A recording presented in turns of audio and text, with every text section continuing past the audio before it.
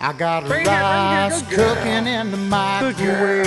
Got a three-day beard I don't plan to shave. And it's a goofy thing, but I just gotta say, hey, I'm a doing all right.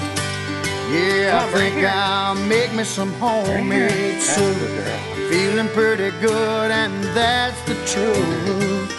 It's neither drink nor patch, I can't drug induced. No, I'm just doing all right. It's crazy.